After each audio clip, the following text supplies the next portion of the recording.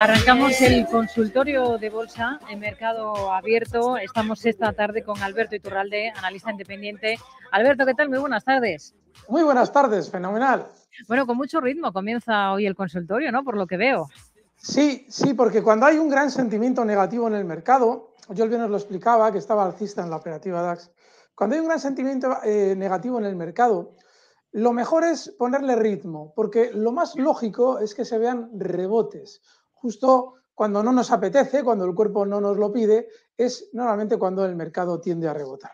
Así es que yo lo que sugiero es que durante estos días se observe esa circunstancia, es decir, hay un gran sentimiento negativo. Eso no implica que los rebotes deban ser muy eh, importantes. Estamos hablando de que, por ejemplo, en el DAX, zonas de 13.360, eh, cosas así, es decir, un 1% por encima de donde está, cosa del IBEX, estaríamos hablando de niveles de 8.430, eh, estará mismo en 8.280. Eh, es decir, eh, en los momentos en los que vemos que viniendo de unos días con el cuerpo de vender para todo el mundo, de repente el mercado parece que ha dejado de caer, por lo menos temporalmente, normalmente lo que viene es rebote. Y es lo que se está viviendo ahora durante las últimas horas. Eso no implica que nos podamos lanzar a comprar. De hecho, en el mercado, durante este tipo de movimientos, por desgracia, solo se pueden aprovechar normalmente con índices. Porque si intentas buscar un valor concreto, pues lo más probable es que estés un poquito ahí en precario, en el sentido de que es muy difícil acertar con justo el que más vas a subir, el que más va a subir. Pero sí es cierto que lo lógico es que todavía veamos cierto rebotito más antes de continuar cayendo. Hmm.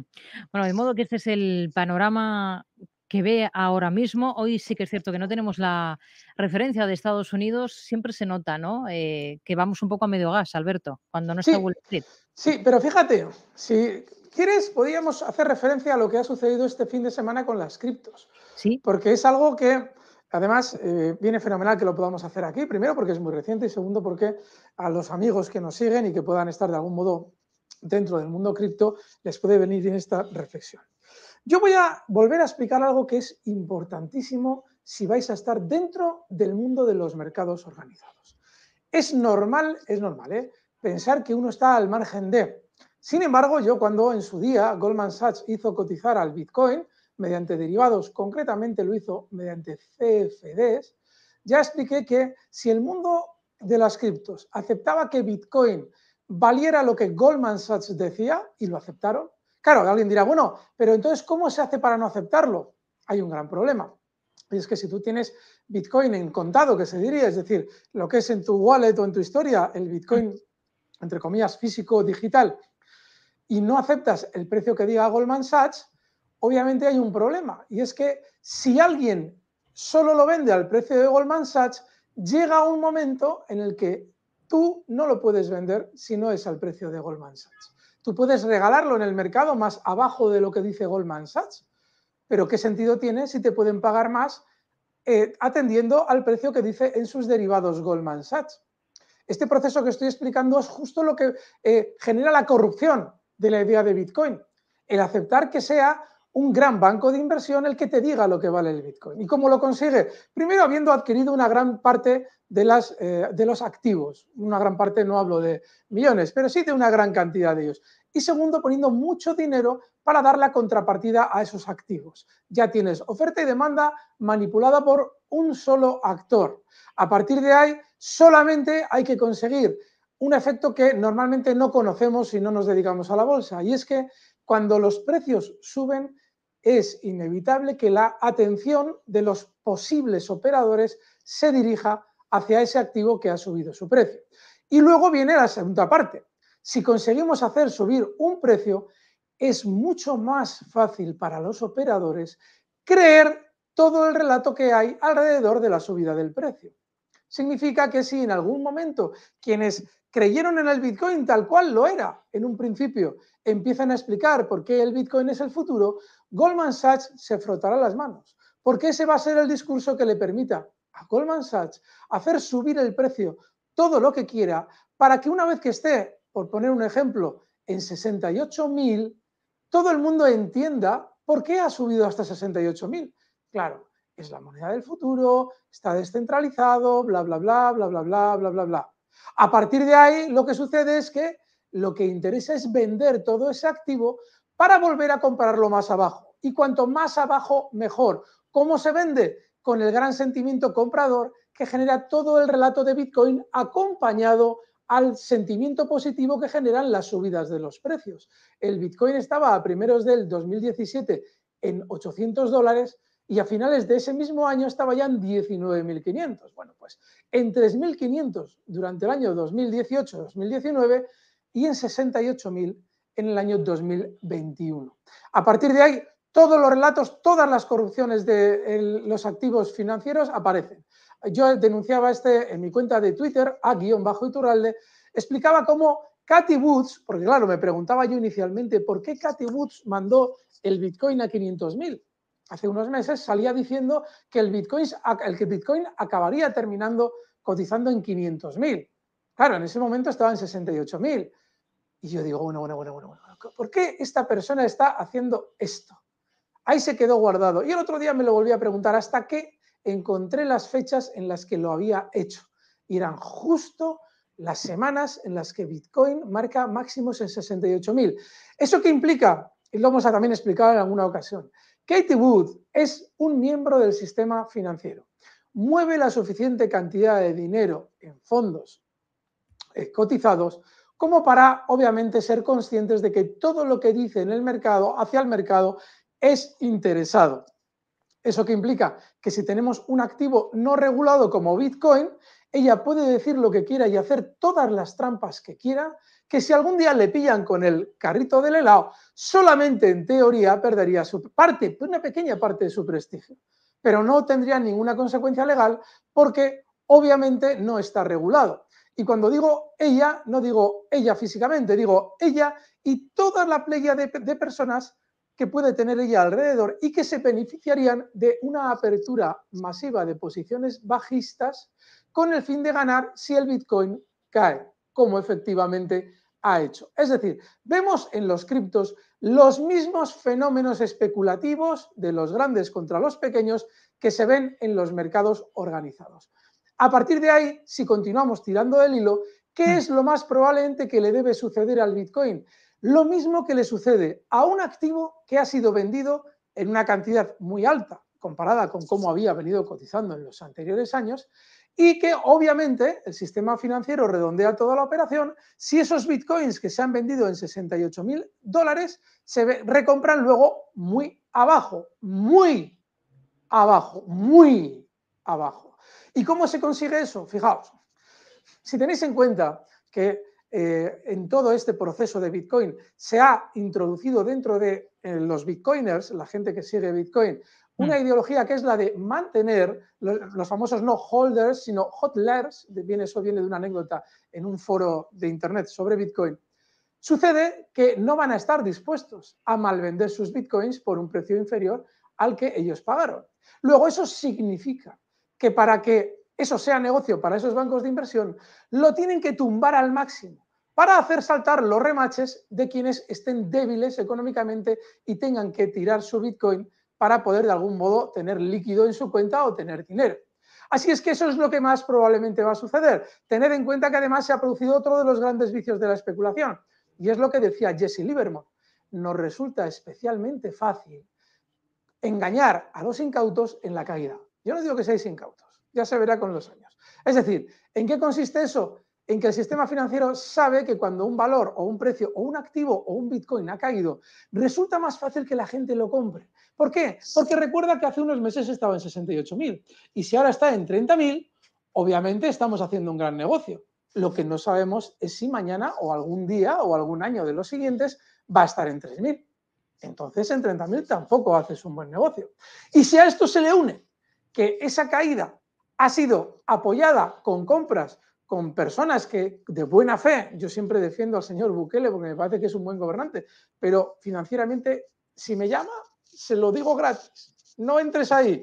¿Por qué? Porque lo que ha hecho ha sido comprar en la caída más, más cantidades para intentar tener un soporte monetario en su país. Pero claro, ha comprado en 30.000 y alrededores, lo cual supone que el sistema financiero ha vendido bitcoins en 30.000 y alrededores. Luego, eso supone que a la hora de rebotar, la zona 30.000 y alrededores va a ser una gran resistencia. La siguiente, yo lo he explicado en muchas ocasiones, fue justo ese punto en el que en su día adelantábamos que probablemente había que tener mucho cuidado con Bitcoin porque por encima de la zona 40.000 se había dibujado una figura muy clara de distribución. Luego ahora ya tenéis claro cuáles van a ser las zonas de resistencia inmediatas para Bitcoin. voy a concretar las que van a ser. Van a ser justo esa zona 30.900 en la que ha habido el último movimiento lateral y la siguiente 40.000. Lo más normal es que solo suba, solo si hay una nueva inyección monetaria eh, brutal en el mercado, que es la que le hizo subir la otra vez. Si esa inyección monetaria no se produce, lo más lógico es que, bueno, tenga una subida hasta 30.000, no hasta 40.000, para 40.000 necesita una inyección monetaria muy probablemente, y luego a partir de ahí vaya, he, publicado en Twitter estos días cuáles van a ser las franjas de cotización del Bitcoin más probables durante los próximos años. Y todo esto parte de una base, y es que si entramos en los mercados organizados y no creemos que lo que tenemos entre manos es solo especulativo, vamos a vulnerar todas las leyes de la especulación, desde la de aplicar un stop hasta la de no comprar en una caída hasta que no hayas visto el giro al alza y aquella de nunca pensar que quedándote en un precio per secula seculorum vas a hacer mucho. ¿Son leyes de la especulación? Yo lo siento, pero sí que os sugiero que, como hacéis en los posts míos en Twitter o los tweets míos de recuérdamelo dentro de tres años, recuérdamelo dentro de tal, recuérdamelo de no sé qué, si dentro de unos años veis que se ha producido lo que he dicho yo, volváis y recordad, la especulación es muy bonita. Os lo habéis de algún modo pasado, de cierto modo, bien con esa ilusión que genera el Bitcoin. Y si queréis aprender sobre especulación, venís aquí todos los lunes a la tarde, porque hablaremos de valores que se manipulan igual que el Bitcoin y quizás así, aprendiendo sobre bolsa y manipulación y sobre todo especulación, manipulación bursátil, podéis de algún modo ir arreglando ese, creo yo, que es tropicio que puede generar el Bitcoin si hmm. no aplicáis las normas de la especulación.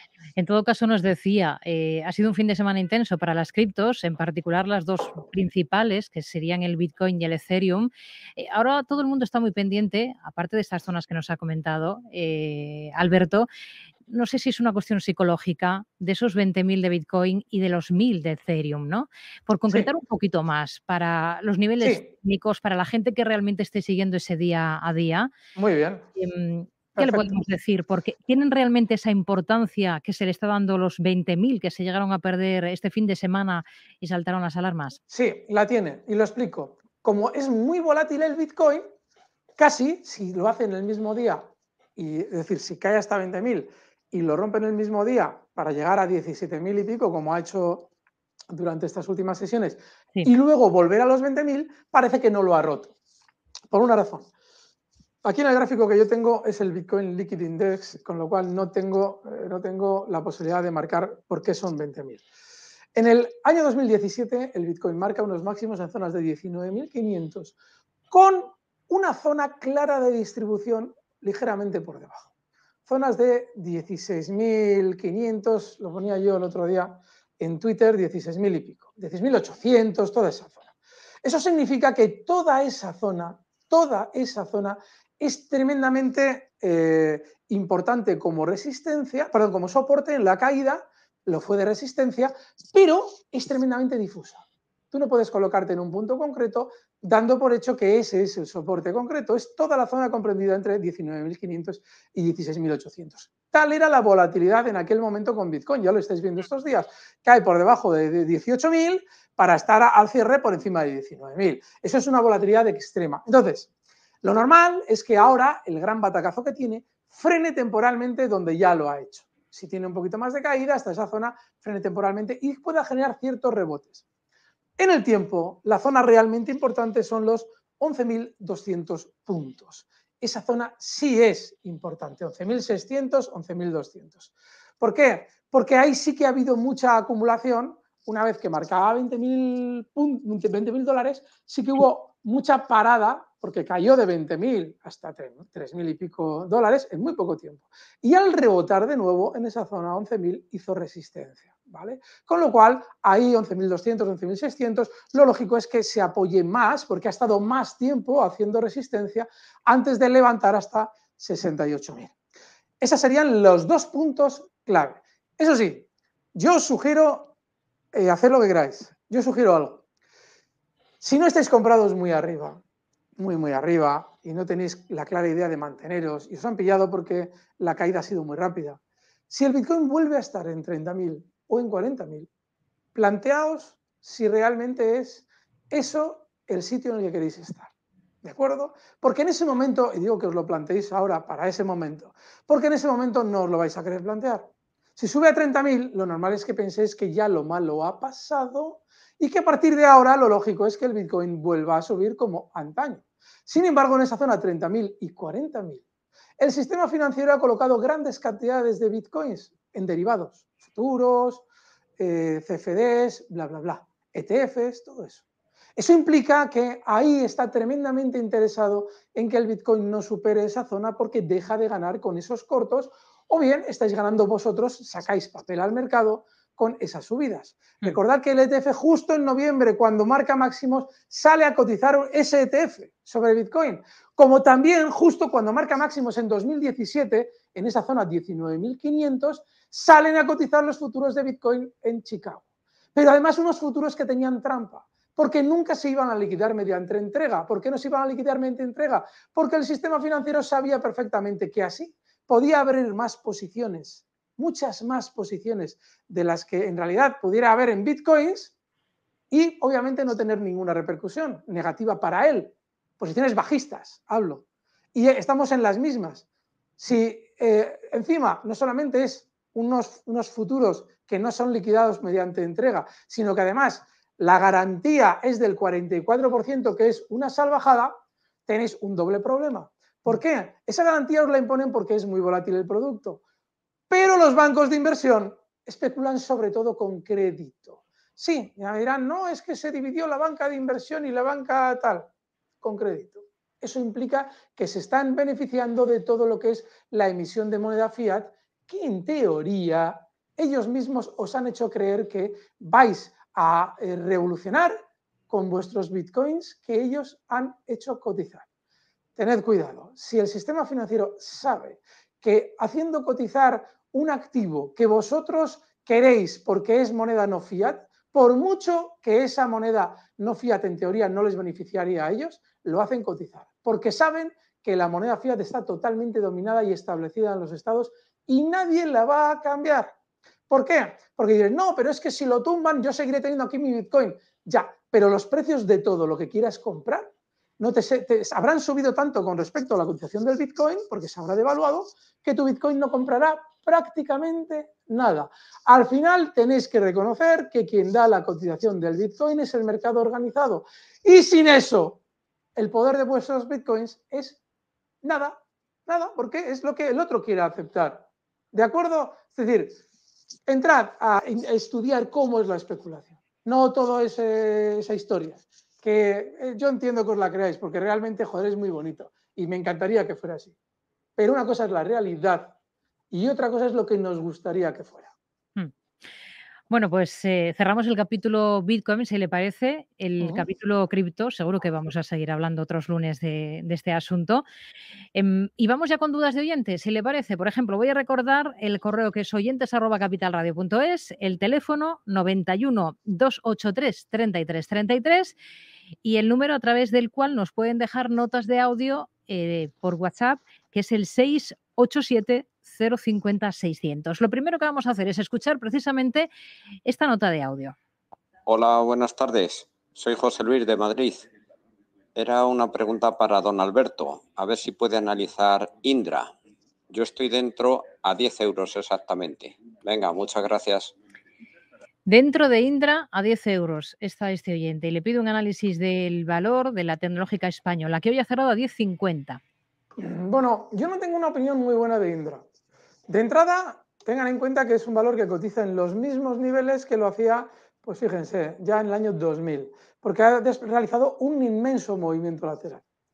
Ahora mismo está en una resistencia, porque eh, en el pasado esta zona 11,20, incluso por debajo, 11,10, no solamente ha, servido para frenar subidas, sino que ha servido para algo muy importante, que es hacer cambios relevantes en, su, en la composición de su capital.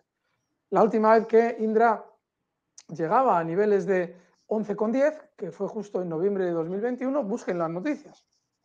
Se publicaba, no sé si había sido la banca March o quién había sido, el que le había colocado un gran paquete accionarial a una empresa vasca.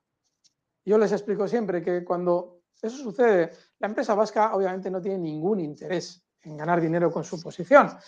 En realidad, bueno, dinero va a ganar, pero no con la cotización, va a ganar dinero con los acuerdos industriales que llegue o tecnológicos que llegue con Indra. De manera que se acepta siempre dentro del mundo financiero una pérdida en función de un beneficio en otro lado. Claro, si se lo han vendido a ese precio, es porque el que sale, que era parte del núcleo duro, sabe que el valor no lo vale, que no ese es el valor, es decir, vale menos. Así es que lo normal es que en el tiempo vuelva a la baja. Durante estos últimos meses ha habido, sobre todo con el tema de la entrada de Rusia en Ucrania, ha habido mucho revuelo, ¿no? La tecnología, que sí tal. Pero eso no implica que en cuanto eso se relaje un poco, lo de Ucrania, lo lógico es que Indra pueda caer. Así es que yo no estaría, me he alargado un poco en esta consulta porque llevábamos mucho tiempo sin hablar de Indra. Pero recuerden lo que hemos comentado, porque no es, bajo mi criterio, una buena compra. Pero, aún así, si ha cambiado algo desde noviembre hasta ahora, con eso la guerra de Ucrania, e imaginemos que el valor realmente va a funcionar bien porque esas circunstancias nuevas le van a llevar a subir, pues el stop tiene que estar inexcusablemente en el nivel 980. ¿De acuerdo? Mientras esté por encima de 980, puedes estar. Yo a partir de ahí, si baja, no estaría. 980 como nivel clave en Indra, en la compañía tecnológica. Vamos a hablar de Evotec. Para un oyente, el ticker es E de España, V de Valencia, T de Teruel. Nos pregunta Ramón em, si lo ve ahora mismo para entrar, si ve un punto de entrada en la compañía. Y Ramón de Gijón, que nos escribe, preguntando por Evotec. Mm, mira, Evotec está aparentemente dibujando una figura de vuelta al alza. Tiene una caída, pero además muy rápida. La voy a describir. Después de una inmensa trayectoria alcista de, pues eso, hasta el año 2021, hasta el noviembre del año 2021, ya en enero, como muchos otros, se gira a la baja además ahí también hizo una figura de vuelta a la baja muy clara, y desciende con mucha verticalidad. Estamos hablando de que llega a caer pues, hasta un 56%, eh, pues eso, en lo que llevamos de año, en seis meses. Bueno, y a partir de ahí se ha mantenido ya cayendo menos. Es decir, hablamos de que hace ya dos, tres meses sigue cayendo, pero menos. Luego, yo ahora mismo no entraría, porque está en medio de una posible figura de vuelta. Claro, posible no significa que sea una figura de vuelta, porque si ahora continúa la baja, no habría dibujado completamente la figura de vuelta, la figura de vuelta se tiene que dibujar completa. O sea, porque esté, porque para que se haga una idea, para que la figura se dibuje completamente, tiene que superar, atentos que no es ninguna tontería, claramente niveles de 21. Está ahora mismo, perdón, 21 no, no, no, error, error, de 29, perdón.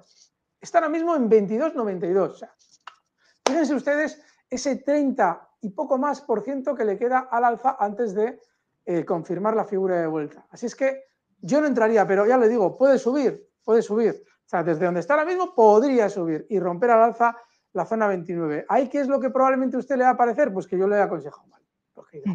pero si hubiera comprado, si hubiera hecho tal, ya, pero ahora mismo no tienes absolutamente ningún indicio de que eso vaya a subir, con lo cual si te libras mejor del riesgo de que caiga, mejor.